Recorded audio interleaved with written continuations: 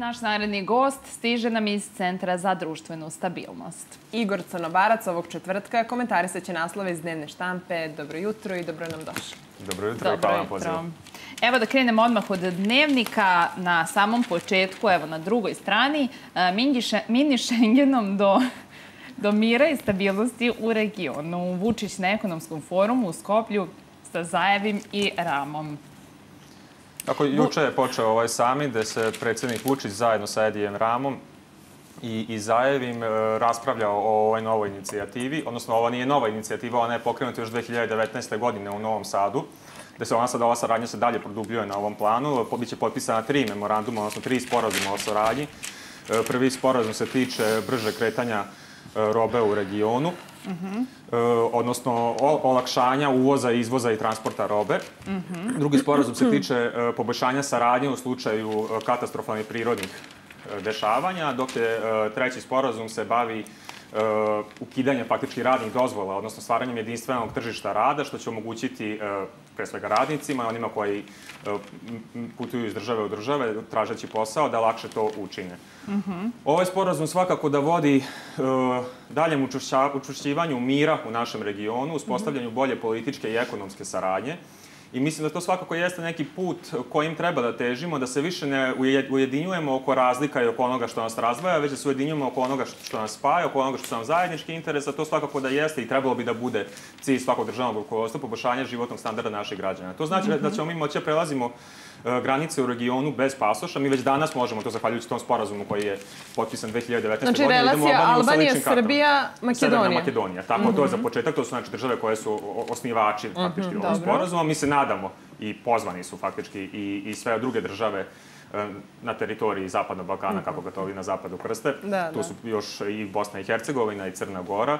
Da, evo, Dnevnik piše, radit će se na međusobnom prihvatanju akademskih kvalifikacija, ali i profesionalnih, mm -hmm. da građevinac u Tirani bude prihvaćen u Beogradu i obrnuto. To će da nas približi dodatno, da snaži naše ekonomije, da obezbeđujemo bolji životni standard. Tako i, i tu je sad još pregrš tih nekih sitnih stvari koje znače život, na primjer, objedinjena elektronska naplata putarine, da kada vidite mm. ovo što mi imamo sada... A šta to znači u praksi? Da vi možete uplatiti na, na onom tagu vašem što imate u kolima za, za autoputeve u Srbiji, da sa istim tim će vam skidati i na naplatnim rapama u Severnoj Makedoniji ili u Albaniji ako idete možda na more ili ako idete u Grčku na more, opet ćete prelaziti jednu granicu manje, odnosno brže ćete stići na, na to more. Mm -hmm. Da, dobro. Sjajna vest u svakom slučaju. Jeste, svakako mislim da, da je to vest koja zaslužuje mnogo pažnje, da to je jedan istorijski trenutak da se mi, faktički država Srbija će biti najveća i najjača ekonomski e, država u ovom savezu.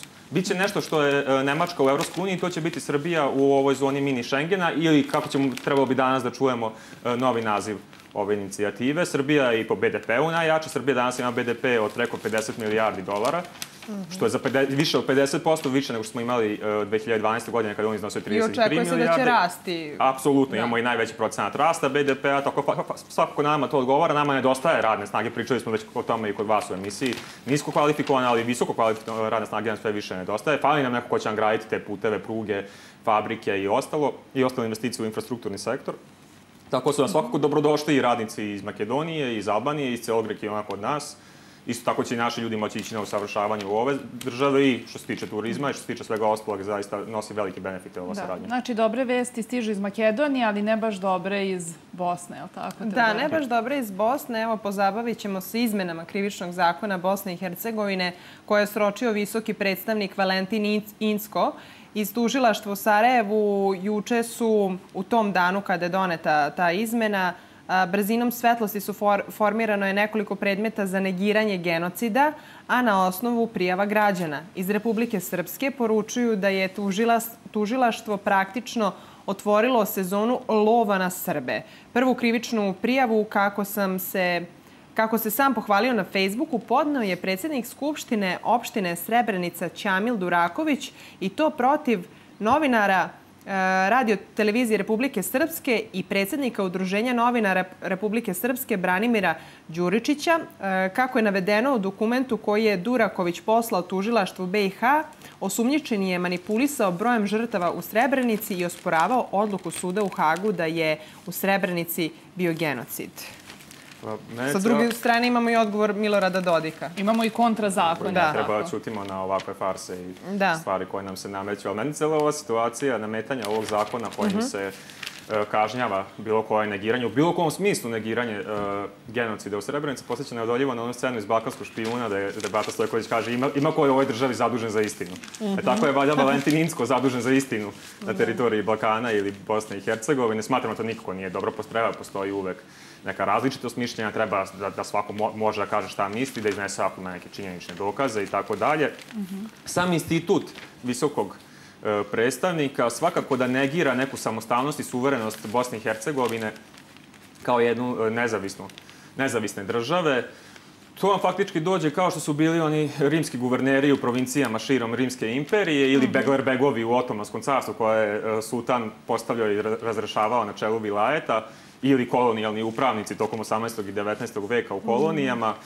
On može da smeni bilo koga, kao što vidimo, on može nameće ovakve zakone koji se direktno tiču svih građana Bosne i Hercegovine, koji mogu da unesu razdor u Bosni i Hercegovine između e, tri konstitutivna naroda, znači Srba, Hrvata i Bošnjaka. Mislim da to nije dobro, mislim da treba da težimo 30-25 godina nakon svih tih ratnih dešavanja na teritoriji bivše uh, SFRJ i na teritoriji BiH. Ne, treba težimo pomirenju. Za, zašto se ne pokrene neka inicijativa podizanju zajedničkog spomena, spomenika za sve nevino nastradale žrtve, bez obzira na njihovu nacionalnost ili veroispovest? Da. Zašto se ne, ne ukaže epitet svim žrtvama nevino stradalim tokom ovih ratova, a ne samo jednoj strani i stalno pot- potpirivati taj raskol između ta tri naroda. Država Srbija svakako da poštuje nezavisnost i suverenost Bosne i Hercegovine, mi želimo dobre i partnerske odnose sa njima, ali isto tako vam niko ne može zabraniti da e, branimo interes srpskog naroda, ma gde god, ma, Da. ma god on živeo i niko nam ne može zabraniti da investiramo u delove gde živi I u tom smislu narod. je Dodik doneo odluku da s- srpska policija, odnosno policija Republike Srpske, brani svoje građane. Apsolutno i sudovi i svi ostali koji su Da. nadležni. To je jedna možda i dobra stvar koja je cela ova Inskova maliciozna inicijativa donela, to je da su se srpske političke opcije u Republici Srpskoj konačno ujedinile oko zajedničkog stava. Mi smo imali tu pokretanje te peti- peticije koja je spontano i odmah e, započela i to mislim da pokazuje određenu dozu političke zrelosti naših stranaka, odnosno srpskih stranaka u Bosni i Hercegovini. Mislim da je to dobro. Mislim da treba da nastavimo da imamo dobru saradnju sa Republikom Srpskom, odnosno sa Bosnom i Hercegovinom, mi kao država Republika Srbija. E, Mnogo je investirano u poslednjih šest ili sedam godina u Republiku Srpsku strane države e, Srbije.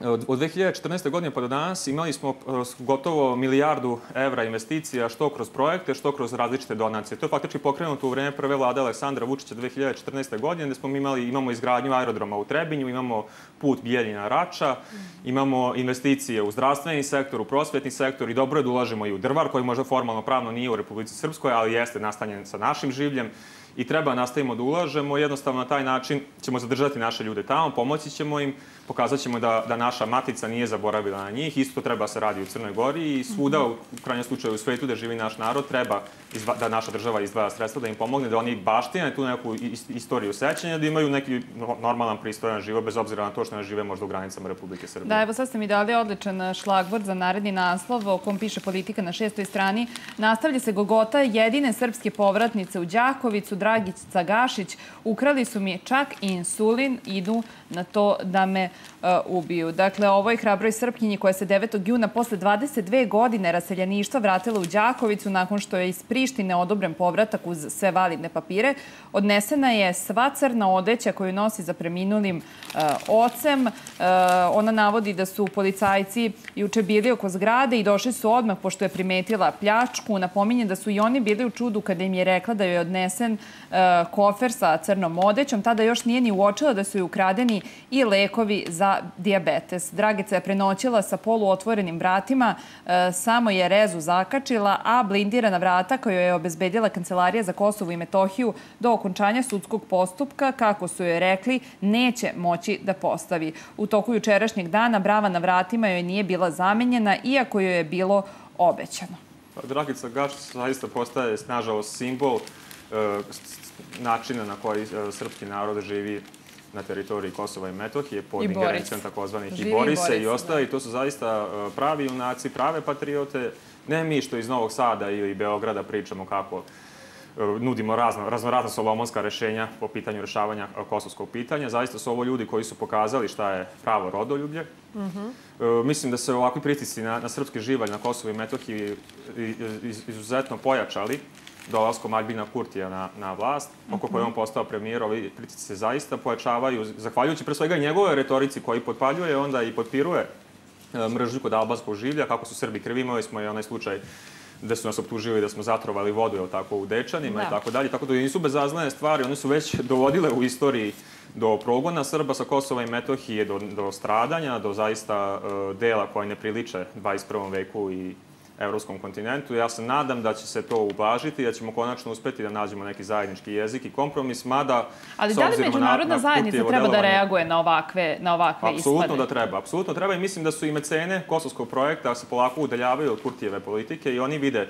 da to ne vodi ničemu dobrom da je on možda i doveden na vlast da bi modernizovao Kosovo kao nezavis, kako oni smatraju nezavisnu državu, kako bi se, isklonili su mu sve političke protivnike na, na njihovoj političkoj sceni, od, od Tačija, Haradinaja i ostalih, postavši ih u Hag, odnosno optuži, pokrenuši Međunarodni sud koji će se baviti njihovim zločinima. Ali apsolutno da on ima neku drugačiju politiku, da, da, da je pogazio sve ono što je bilo dogovarano i da nema nikakav uh, motiv da razgovara sa Srbima, već a, totalno suprotno. On, njegov motiv je da izrevoltira našu stranu, da se mi povučemo iz tih pregovora kako bi onda optužili Srbiju da ne želi da pregovara, da ne želi uh, kompromisno rešenje i da oni nastave svoj projekat. Kurti i najavljuje, otvoreno najavljuje, on je na tome dobio i izbore. Njihov narod glasa za to. Uh, projekat ujedinjenja sa Albanijom, odnosno prav formiranja Velike Albanije. Znači, to nije tajna barem za albanski živalj, kod nas se to nekako mistifikuje, kao predstavlja se kao da je to sad neka mantra priča kojom se plaše našim građani, ne, to je faktički njihova, njihov spoljno-politički pravac kojim oni, od kojega oni ne odustaju, već mm -hmm. eto, o Preševske lige veoma dugo. Da, i kada pričamo već o Kosovu, uh, u Kosovu i Metohiji, uh, u večernjim novostima uh, kažu de, dečane sad čuvaju uh, komšije, srpsku svetinju od nedavno obezbeđuju vojnici iz Severne Makedonije, Na glavnoj ulici Dečana nema uobičajene gužve. Da li zbog vrućine ili nedavne afere oko trovanja vodom teško je ustanoviti. Putem koji vodi prema manastiru gotovo da ne prolaze vozila, a na prilaznom putu ka Svetinji u toku su radovi na proširenju i zaštitnom bedemu. Ispred prvog punkta Kfora, nekoliko stotina metara od Svetinje, žardinjere sa cvećem, nedavno postavljene kao svojevrsne barikade. Sa leve strane puta oklopno vozilo, a sa desne drveni objekat u kojem dežuraju pripadnici mirovne misije. Nekoliko njihovih vozila je i na samom prilazu punktu. I ono što je interesantno jeste da kažu posetioci da dajte nam e, vaša dokumenta i dobit ćete propisnicu za ulazak u manastir. U porti crkvi ima nekoliko posetilaca, ali vi možete ući. Kaže nam gotovo čistim srpskim jezikom vojnik Hvora, a po amblemu, zastavi na rukavu, uniforme, shvatili smo da je iz Severne Makedonije. Pa evo, ja iz ličnog iskustva zaista mogu da posvedičem da je to sve tako. 2019. godine sam imao priliku da obićam Visoke Dečane manastir I zaista to je tamo scena i je tačno da su ovaj, ovaj punktovi, postoje bodljikave žice, oni čuvaju e, taj manastir, zaista kao da je njihov i svaka im čast na tome. Tužno je što postoji potreba se na taj način čuva naša svetinja. Odnosno, to su scene koje, da, da ne uvredim nikoga, više mi prilično na nekom Bejrutu ili nekoj zaraćenoj zoni, nego što bi trebalo priliče, kako oni tvrde, jednoj modernoj državi na teritoriji evropskog kontinenta. Kako žive monasi tamo? Jeste imali priliku da Pa, dobro, oni su do nekada izolovani od svega toga, oni mm -hmm. žive klasičnim monaškim životom, asketskim, uh, trude se da, da održavaju vezu sa ono malo srpsko življe što je tamo ostalo, ali -hmm. svakako da im nije lako. Mm -hmm. I evo još jedan naslov, imamo vremena za još jedan naslov. Uh, u politici na 12. strani E, novinari pišu, ako bude referenduma, Rio Tinto će poštovati e, volju e, građana. U slučaju da bude referenduma o projektu Jadar i da odluka bude negativna, kompanija Rio Sava će se prilagoditi, rekla je juče generalna direktorka te kompanije Vesna Prodanović. Govoreći o protestima protiv ovog projekta, izjavila je da je na kompaniji da pruži sve podatke, a u proteste niti može, niti želi da se meša. Predsednik Srbije juče je naglasio da nije tačno da će opština Loznica promeniti prostorni plan jer je to u nadležnosti Republike, te ponovio da će se o Rio Tintu pitati isključivo narod.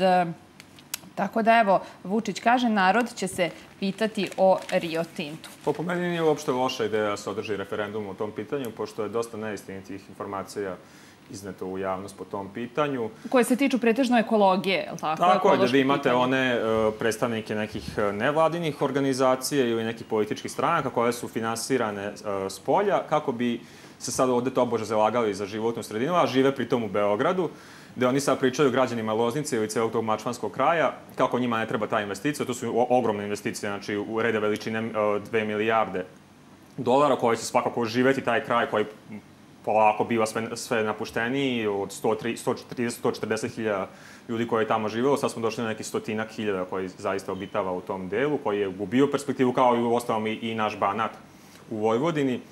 Jednostavno treba sagledati i taj aspekt da će, da će takva investicija doneti život u taj kraj Srbije, gde naravno opet treba se održe, održe neki ekološki standardi, ne smemo zagaditi našu zemlju, naš vazduh, naše podzemne vode na način mm -hmm. da mhm. neće moći buduće pokoljenja tu živeti, ali naravno da treba to sve odraditi na jedan stručan način, bez iznošenja nekih paušalnih ocena i slično.